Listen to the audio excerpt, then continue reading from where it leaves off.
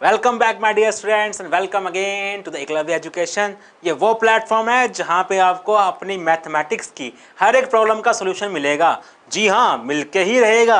तो आज एक बार फिर से हम लेके आए हैं नाइन्थ क्लास आईसीएससी बोर्ड वालों के लिए एक नया टॉपिक एक नई क्लास आज का टॉपिक जो हमारा है, वो मैंसुरेशन वन है।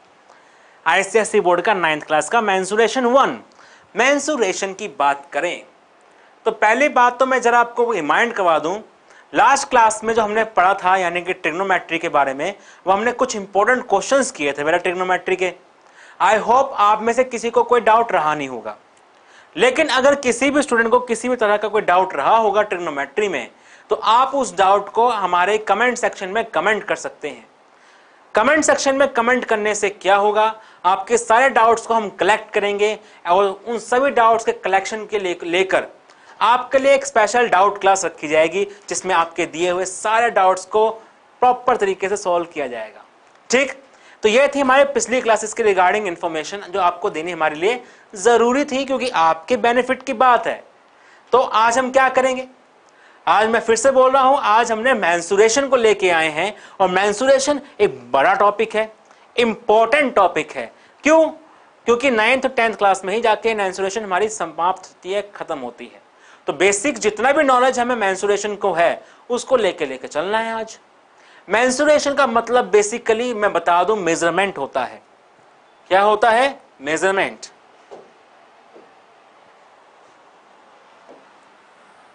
मैंसुरेशन का मतलब होता है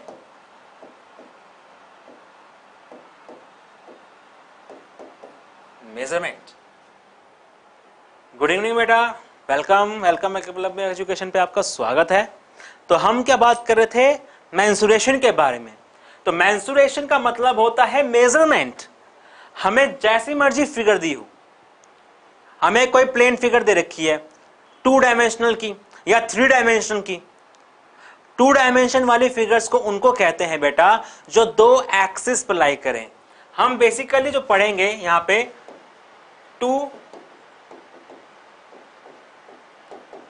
डायमेंशनल फिगर्स को स्टडी करेंगे। ये टू डायमेंशनल फिगर्स क्या होती हैं?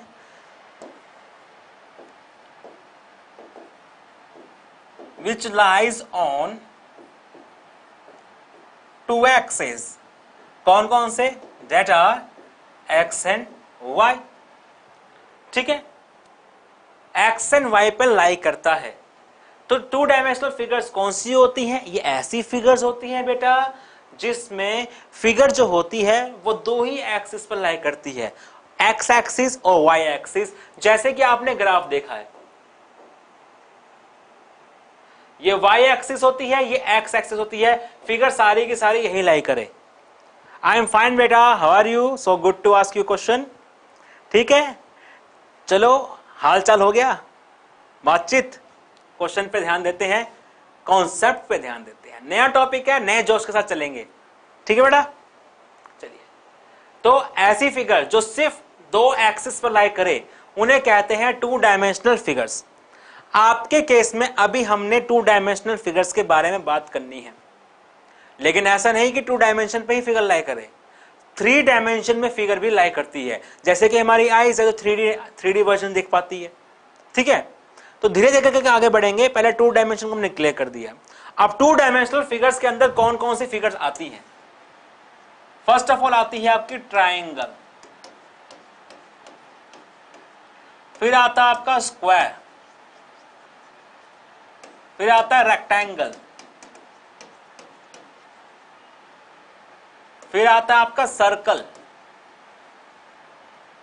ठीक? फिर आता है आपका रोम्बस काइट क्वाड्रिलेटरल, जितने भी क्वाड्रिलेटरल हैं, वो सब आते हैं। ये सब फिगर्स जो होती हैं, ये टू डायमेंशनल फिगर्स होती हैं। तो आज हम मैंसुरेशन फ़र्स्ट के अंदर फ़र्स्ट ऑफ़ ऑल तो मैंसुरेशन की बेसिक डेफिनेशन समझी कि मैंसुरेशन का मतलब क्या होता है? मेज़रमेंट हम मेजर करते रहेंगे, नापते रहेंगे भाई। टू डायमेंशनल फिगर को मेजर करना है। अब मेज़रमेंट के अंदर भी कुछ बातें होती हैं जो आपको ध्यान रखनी है। फ़र्स्ट ऑफ़ ऑल हमें सीखना है पेरीमीटर के बारे में और फिर सीखना है एरिया के बारे में। पहले हम टिपिकल नॉलेज ऑफ़ एरिया के लेके चलेंगे, फिर हम लेके चलेंगे कुछ एक्स्ट्रा एरिया के बारे में, जिसे कहते हैं surface area total surface area curved surface area या फिर बोलते हैं उसको लेटरल सरफेस एरिया इस सब के बाद हम आगे भी और इंटरेस्टिंग बातें करेंगे तो बातों में टाइम वेस्ट ना करके टॉपिक को थोड़ा और आगे बढ़ाते हैं। क्योंकि आज फ़र्स्ट क्लास है तो इंट्रोडक्शन कंपलसरी है अंडरस्टैंडिंग ज़रूरी है। ठीक? चलिए। तो करते हैं इसको रब अब बढ़ते हैं आगे। लीजिए इंट्रोडक्शन लेके आया हूँ मैं आपके लिए और फ़र्स्ट टॉपिक जो है हमें पढ़ना है पेरीमीटर ये पेरीमीटर क्या चीज़ है? किसे कहते हैं पेरीमीटर सिंपल लैंग्वेज में कहा जाए, जब भी कोई प्लेन फिगर एग्जिस्ट करती है जब भी कोई प्लेन फिगर एग्जिस्ट करती है तो उसकी बाउंड्रीज एग्जिस्ट करेंगी। ठीक?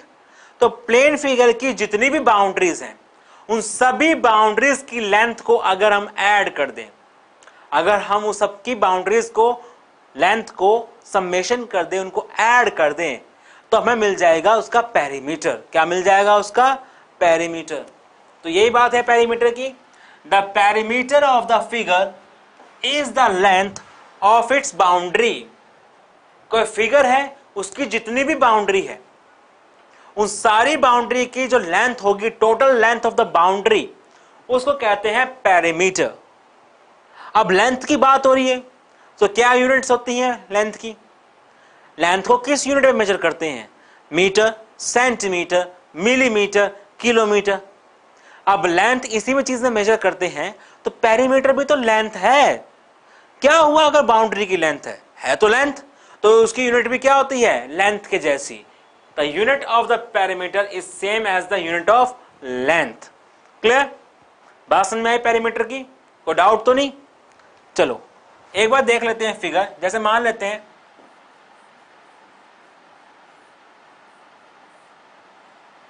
ये एक फिगर है बेटा। ठीक है? अब फिगर की बात कर रहे हैं तो ये लीजिए। ये है two centimetre four centimetre three centimetre one centimetre four centimetre one centimetre three centimetre two centimetre one centimetre, ये थ्री सेंटीमीटर, ये two centimetre. And this is also three centimetre. ये इसकी पूरी बाउंड्री है। कुछ अटपटी सी फिगर है, पता नहीं किसका घर है, किसका आलिशान घर है। ठीक है तो ये आ गया। अब यहाँ से यहाँ तक भी कितना? One centimetre. यहाँ से यहाँ भी कितना? One centimetre. इन सबको नाम दे देता हूँ। A B C D E F G H I J K L M N ये सब वर्टिसेस हैं. A B C D E F G H H I J K L M N ये सब क्या है? वर्टिसेस हैं. तो एक वर्टिस से दूसरे वर्टिक्स को जब ज्वाइन करेंगे तो बाउंड्री मिल रही है फिगर की. साफ़ दिख रहा है. तो इसका पैरामीटर क्या होगा? इसका पैरामीटर क्या होगा? सबको ऐड कर देंगे। मतलब A B plus B N plus N M plus M L plus L K plus K J plus J I plus I H plus H G plus G F plus F E plus E D plus D C plus C ये सब वो length है जो boundary create कर रही है इस figure की। तो इन सबको ऐड कर देंगे तो मिल जाएगा हमें पेरीमीटर तो सबको हम जब ऐड करेंगे तो नेट रिज़ल्ट क्या मिला?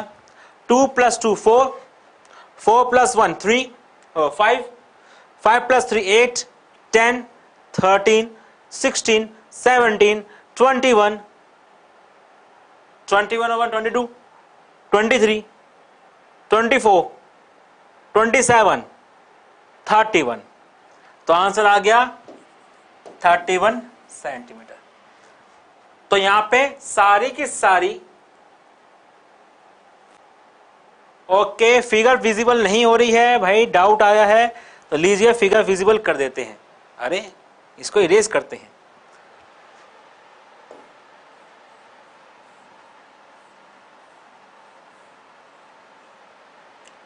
मेरा ऐसे करके कुछ फिगर थी।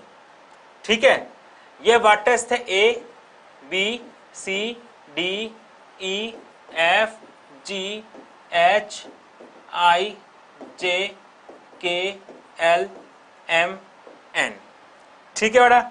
यहाँ से यहाँ तक मेजर किया तो निकला फाइव सेंटीमीटर यहाँ से यहाँ तक किया तो टू सेंटीमीटर यहाँ से यहाँ तक किया सिक्स सेंटीमीटर यहाँ से यहाँ तक किया, फोर सेंटीमीटर, यहाँ से यहाँ तक किया, थ्री सेंटीमीटर, फोर सेंटीमीटर, यहाँ से यहाँ तक किया, यहाँ से यहाँ तक,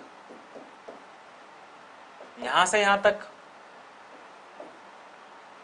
यहाँ से यहाँ तक, ये भी थ्री सेंटीमीटर, ये भी three centimetre three centimetre, two centimetre three centimetre.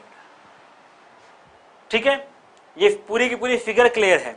तो बाउंड्री, पैरामीटर की बात कर रहे थे हम, किसकी?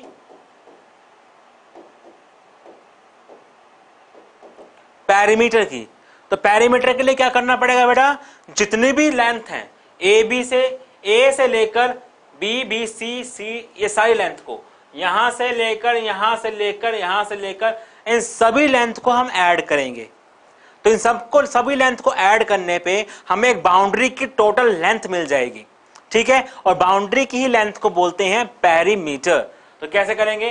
Two plus three five plus two seven plus three ten thirteen sixteen nineteen twenty one twenty four twenty eight thirty one thirty five forty one forty six तो net result कितना आ गया? 46 सेंटीमीटर। सो ये है तरीका पैरीमीटर को find करने का। पैरीमीटर का मतलब होता है किसी भी प्लेन फिगर की बाउंड्री की लेंथ ये हमने कोई अटपटी सी बाउंड्री ली थी, किसी फिगर की, उसकी पूरी की पूरी बाउंड्री की लेंथ निकाली तो हमें पता लग गया कि उसका पैरीमीटर कितना निकला? 46 सेंटीमीटर। तो पैरीमीटर किसे कहते हैं? I hope it is clear for you right now क्योंकि ये पैरीमीटर आगे भी आता रहेगा, चलता रहेगा पूरी लाइफ में। ठीक है? कोई डाउट तो है नहीं। अगर कोई डाउट है तो पूछ लीजना ठीक है बेटा? चलिए। तो पैरीमीटर की बात हमने कर ली है खत्म। अब नेक्स्ट क्या पढ़ना है? नेक्स्ट किसके बारे में जानना है? नेक्स्ट हमें जानना है एरिया के बारे में। भाई एरिया कहते किसे हैं? बच्चों को आज तक यह समझ नहीं आया कि एरिया कहते किसे हैं। एरिया वो इलाका होता है जो कोई चीज़ एक्वायर कर लेती है। ऐसा स्पेस कोई चीज़ जो घेर लेती है। घेरे हुए स्पेस को बोलते हैं एरिया तो क्या है area area of the plane figure is the measure of the surface enclose by that figure ये मेज़रमेंट है। कैसी? ये एक ऐसी मेज़रमेंट होती है बेटा, जो कोई प्लेन फिगर एक्वायर कर रही है। जितने सरफेस पे एक्वायर कर रही है सरफेस पे। जितने सरफेस पे एक्वायर कर रही है एरिया उसे कहते हैं। ठीक? जैसे कि, मान लेते हैं फिगर पे आते हैं फिर से यहाँ पे। ये तो क्लियर हो गया। चलिए। कोई फिगर है बेटा, देखो यहाँ पे। मैं बात कर रहा हूँ जैसे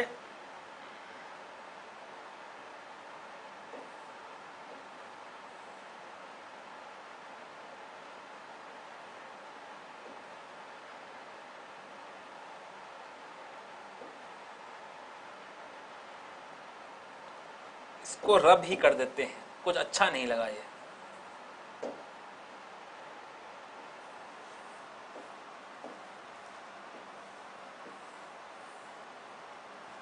ये एक टैंकी है, टैंक। ठीक है? ये टैंक इस छत पे है। यह है रूफ। यह है रूफ। अब मैं पूछना चाहूँगा बेटा कि what is the area in the figure what is the area of tank tank का एरिया क्या होगा? को बता सकता है? है कोई बताने वाला?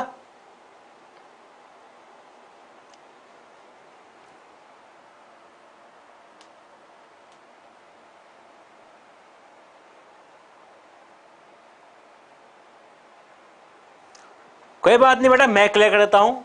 एरिया वो इलाका होता है जो किसी प्लेन फिगर ने, किसी भी फिगर ने सरफेस पे लिया हो। किसी भी फिगर ने सरफेस पे लिया हो। अब आपको दिख रहा है ये सरफेस ये है। ये है। ये जो ये जो एरिया है, ये एक सर्कल है।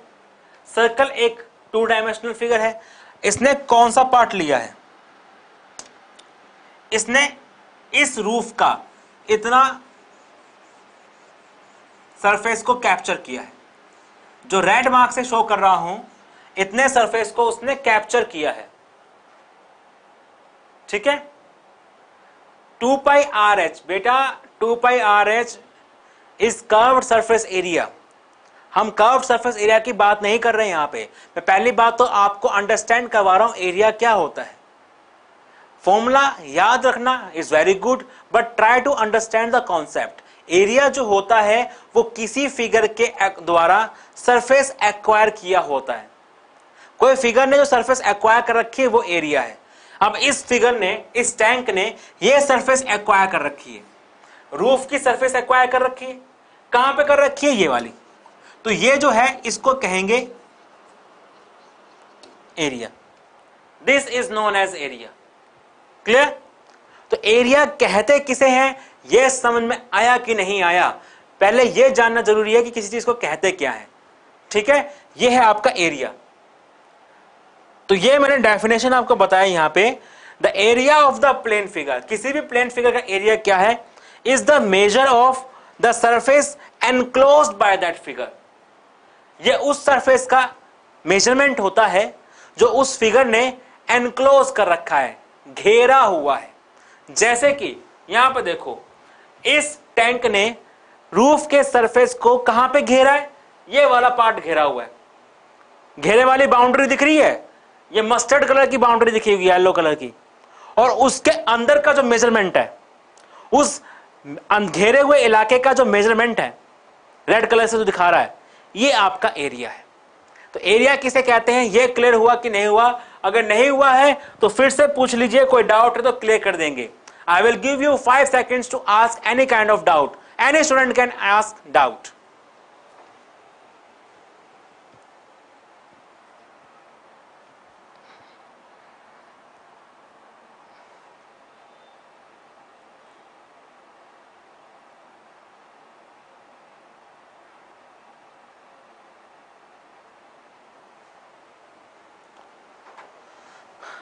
है भाई किसी को डाउट अच्छा sir tell some more detail what kind of detail you want to ask बेटा?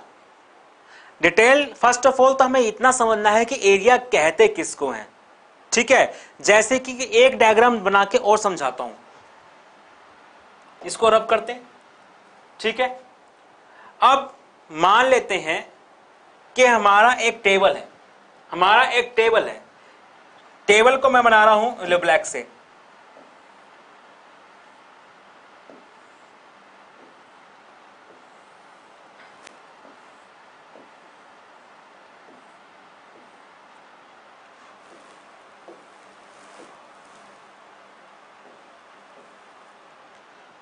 ये एक टेबल है, ठीक है?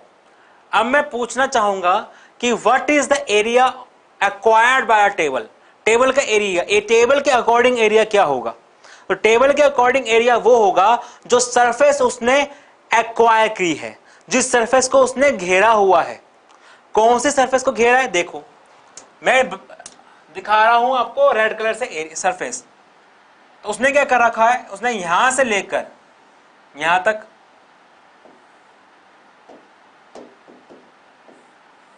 ये ठीक फिर यहाँ से लेकर यहाँ तक, फिर यहाँ से लेकर यहाँ तक, और फिर इसके एंड पॉइंट से, यहाँ से लेकर इसके एंड पॉइंट तक। इतना पार्ट उसने क्या कर रखा है? एक्वायर कर रखा है। इसने फ्लोर जो ज़मीन की, ज़मीन है आपकी फ्लोर उस फ्लोर के कितने एरिया को घेरा हुआ है? जी, इतने एरिया को घेरा हुआ है। तो ये जो है, ये पार्ट ये आपका एरिया है। इस पार्ट को जब मेजर करोगे, बात समझ रहे हो? इस टांग को थोड़ा छोटा कर देते हैं ताकि इस टांग की वजह से कंफ्यूजन हो सकती है।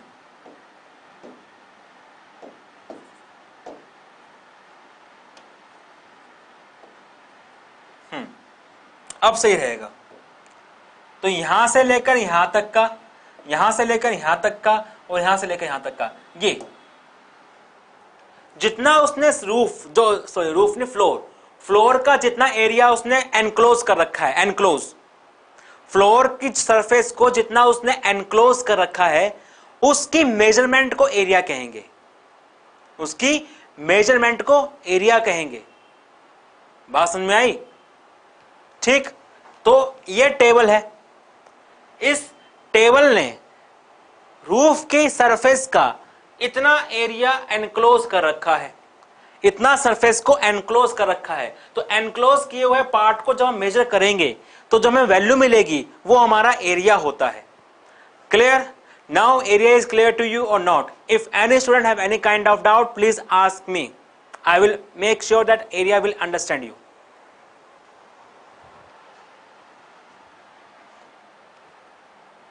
चलिए। Okay now everything is clear hello बेटा हाउ आर यू कैसे हो आप? पढ़ाई पे ध्यान दीजिए, जल्दी आया करिए क्लास में। तो हमने कहा था कि हमने टू डायमेंशनल फिगर की बात करनी है। तो टू डायमेंशनल फिगर के अंदर सबसे पहले किसकी बात करेंगे? ट्राइंगल की। तो हम लेके आए हैं एरिया और पैरामीटर ट्राइंगल का। फ़र्स्ट ऑफ़ ऑल ट्राइंगल क्या है? सबको पता है। ट्राइंगल एक ऐसा पॉलीगन है, एक ऐसी क्लोज फिगर होती है जो थ्री साइड से बनी होती है। कितनी साइड से? सिर्फ़ थ्री साइड से। अब ट्राइंगल के भाई बाउंड्री है। जैसे यहाँ पे ट्राइंगल बना दिया मैंने ये। लीजिए। ये एक ट्राइंगल है। A B C A B सी इस ट्राइंगल के वार्टेक्स हैं। वार्टिसिस कह लेते हैं। तो पेरीमीटर क्या होगा? मैंने पेरीमीटर पहले बता दिया अंडरस्टैंड करवा दिया कि perimeter is the sum of all the length of boundary इसकी बाउंड्री क्या है फिगर की? ये तीनों साइड इसकी बाउंड्री है तो इसका पेरीमीटर क्या होगा? A B plus B C plus C A तीनों साइड्स को हम ऐड कर देंगे तो we will obtain the perimeter of the triangle clear यही तो कॉन्सेप्ट है। The perimeter of the triangle is the sum of three sides तीनों साइड्स का सम निकाल लो पेरीमीटर ऑफ़ ट्राइंगल आ गया। आपके सामने पैरामीटर ऑफ़ ट्राइंगल का कॉन्सेप्ट इसमें कोई डाउट है? ऑफ़ कोर्स मतलब ही नहीं है। ठीक? चलिए, आगे बात करते एरिया की। अब ट्राइंगल के एरिया को कैलकुलेट करना आना चाहिए। मैंने पहले बोला कि जब कोई फिगर सरफेस एक्वायर करती है, उस एक्वायर्ड सरफेस के मेज़रमेंट को एरिया कहते हैं। तो हर एक फिगर की एक्वायर्ड सरफेस को मेजर करने का तरीका अलग अलग होता है। यहाँ पे हम बात कर रहे हैं ट्रायंगल की। तो ट्रायंगल के द्वारा जो सरफेस एक्वायर्ड हुई होगी, उसका जो एरिया है, उसको कैलकुलेट करते हैं इस फॉर्मूला के साथ। Half into base into height कौन सा formula half into base into height ये फॉर्मूला है बेसिकली जनरल फॉर्मूला है किसी भी ट्रायंगल के एरिया को कैलकुलेट करने का। मतलब जितना सरफेस उसने एक्वायर कर रखा है, उसकी मेज़रमेंट करने का, ये एक सिंपल सिंपल सा फॉर्मूला है। कैसे? देखिए। यहाँ पे आइए।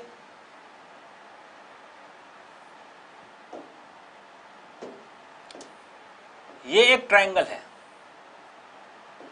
A B C. ठीक है बेटा? ए से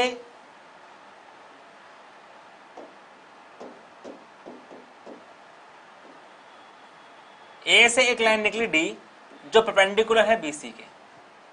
ठीक है?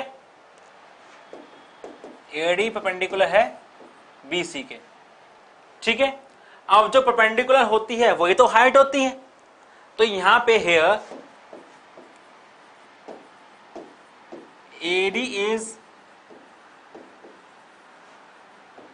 height of triangle A B C ये जो ट्रायंगल लिखा है, ठीक है? ये जो हाइट ये ट्रायंगल है, ये ट्रायंगल लिखने का तरीका है। कॉरस्पॉन्डिंग हाइट बात कर लो बेटा कॉरस्पॉन्डिंग हाइट बिल्कुल सही बात है। Half into base into height बोलेंगे। हाइट मतलब कॉरस्पॉन्डिंग हाइट जैसे यहाँ पे इस ट्रायंगल की कोई सी भी साइड हाइट को रिजेंबल नहीं कर रही। लेकिन एक अंदर की वैल्यू है एडी एडी जो है, जो परपेंडिकुलर है बीसी के AD will act as a height ठीक है बेटा? तो ये बन गए एडी जो है हाइट ऑफ़ ट्राइंगल है। अब बेस किसे लेंगे? Base is that side of triangle on which height stands base triangle की वो साइड होती है जहाँ पे हाइट खड़ी हो, जहाँ पे हाइट खड़ी हो। हाइट क्या है? एडी इज़ द हाइट ठीक है? एडी कौन सी साइड पे गिर रही है या कौन सी साइड पे स्टैंड हो रही है? साफ़ साफ़ दिख रहा है एडी जो है बीसी वाली साइड पे स्टैंड हो रही है। तो यहाँ पे बेस हेयर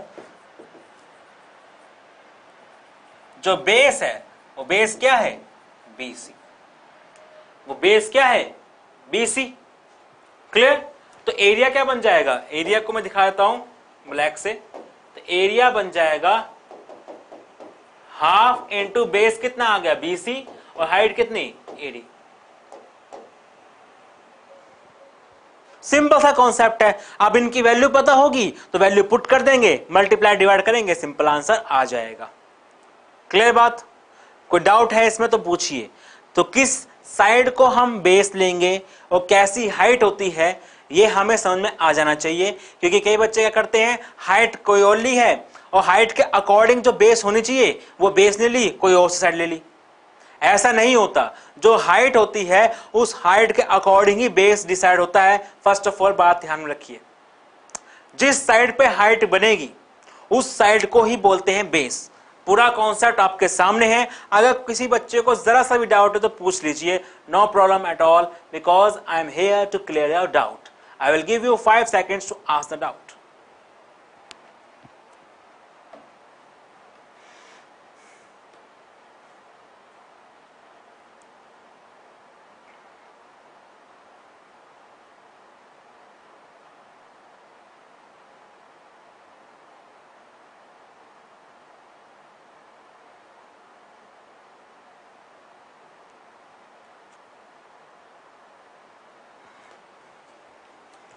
so.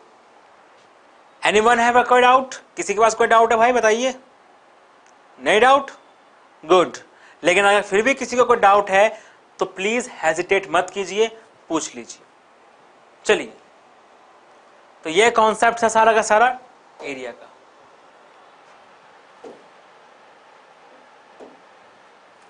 एक बात ध्यान रखना बेटा, क्योंकि लेंथ की यूनिट जो होती है मीटर सेंटीमीटर वगैरह होती है पेरीमीटर की यूनिट भी मीटर सेंटीमीटर वगैरह होती है। एरिया की यूनिट जो होती है, क्योंकि वो साइड दो साइड पे डिपेंड कर रहा है। जैसे ट्राइंगल पे किस पे डिपेंड कर रहा है? बेस और हाइट पे। दोनों ही आपस में किसमें है? मल्टीप्लाई में है। बेस की यूनिट भी होगी। भाई हाइट की भी यूनिट होगी। तो जब मल्टीप्लाई होंगे तो यूनिट का स्क्वायर हो जाता है। इसीलिए जो एरिया का ऐसा यूनिट होती है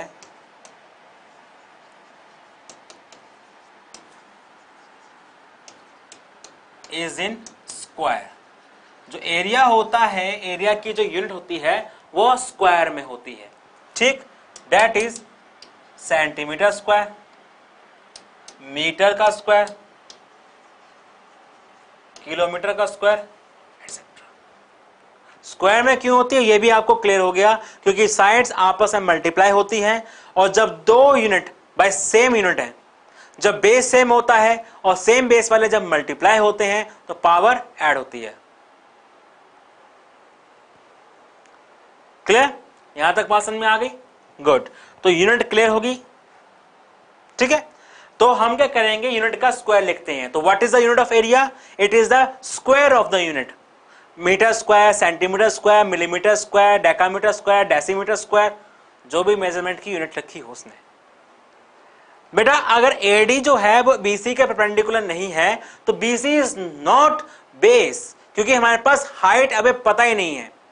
ट्रायंगल की जो हाइट होती है, वो परपेंडिकुलर होती है। ये बात समझिए। ठीक है? तो हाइट हमें कंफर्म नहीं है तो बेस भी कंफर्म नहीं है। क्योंकि जिस साइड पे हाइट गिरेगी, वो साइड आपका बेस होता है। क्लियर बात समझ में आई अब ये? अगर फिर कोई डाउट है तो पूछ लीजिए। चलिए।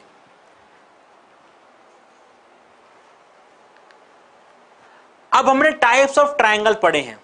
Equilateral triangle scalene triangle isosceles triangle right angle triangle उन सब का एरिया निकालने का कॉन्सेप्ट थोड़ा सिंपल होता है। हम बात कर रहे हैं इक्विलेटर ट्रायंगल की। इक्विलेटर ट्रायंगल के अंदर हम हाइट हुड का चक्कर ही खत्म कर देते हैं। हम सिंपल सा लॉजिक लगाते हैं। इक्वल ट्रायंगल का सिंपल एक फॉर्मूला दे रखा है कि क्या होता है? ये। देखिए।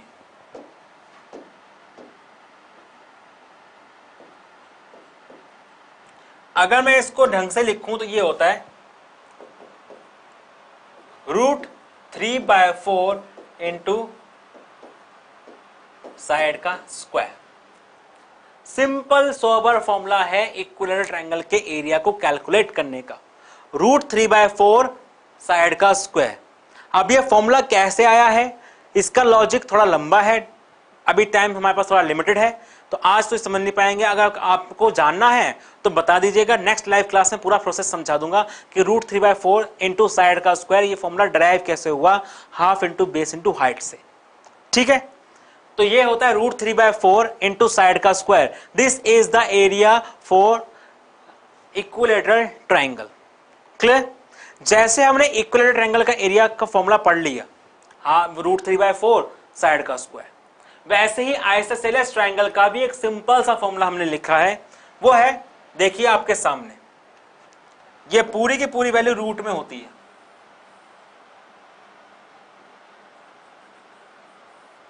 ठीक है? तो फॉर्मूला क्या है? One by four into B plus under root plus नहीं multiply under root four A का स्क्वायर माइनस बी का स्क्वायर जहाँ पे जो आपका ए है ए ए जो है, वो इक्वल साइड्स की लेंथ होती है, और बी जो है, वो बेस की लेंथ होती है।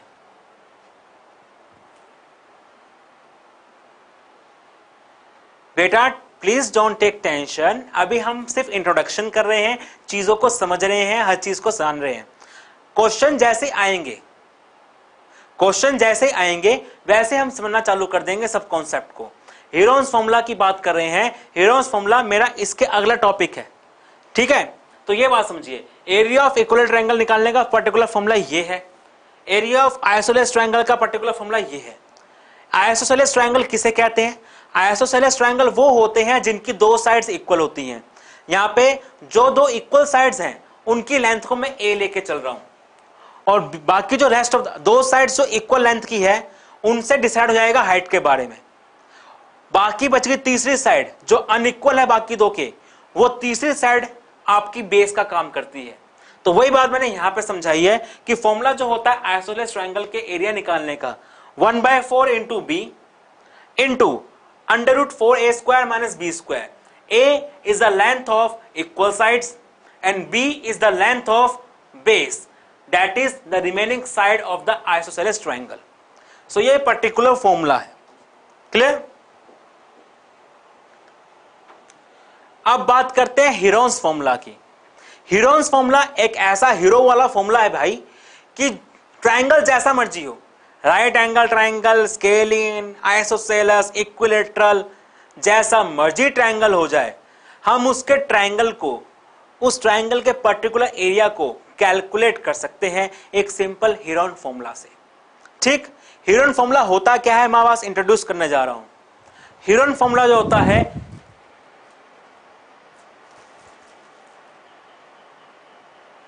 एक सिंपल फॉर्मूला होता है। क्या होता है? देखिए। एरिया जो होता है ट्राइंगल का, वो होता है अंडर रूट में S into S minus A into S minus B into S minus C ठीक? ए बी और सी क्या है? ए बी और सी ये तीनों ही उस ट्राइंगल की तीन साइड्स के मेजरमेंट्स होते हैं। तो यहाँ पे लिखा है A B C are the three sides of triangle A B C जो है ट्राइंगल की तीनों साइड्स के मेज़रमेंट है। ठीक? तो एस क्या है? एस को बोलते हैं सेमी पेरीमीटर इसको बोलते हैं सेमी पेरीमीटर। सेमी पेरीमीटर का मतलब पेरीमीटर का हाफ़। तो एस क्या होगा? Perimeter by two. पेरीमीटर क्या होता है ट्रायंगल का? Sum of three sides. अब इस ट्रायंगल की साइड्स कौन सी है? ए, बी और सी। तो इन तीनों का sum. A plus B plus C divided by two. यही मैंने यहाँ पे लिखा है। तो आज हमने इंट्रोड्यूस कर दिया बहुत सारी चीज़ों को। इंट्रोडक्शन करने के बाद नेक्स्ट क्लास यानी कि tomorrow we will going to explore more about area and about Heron's formula regarding to the area of triangle आज की क्लास को आप इंट्रोडक्शन की तरह लीजिए, हर चीज़ को समझिए, जानिए। अगर किसी कॉन्सेप्ट में कोई डाउट है तो पूछ लीजिए। Till then please take care and good bye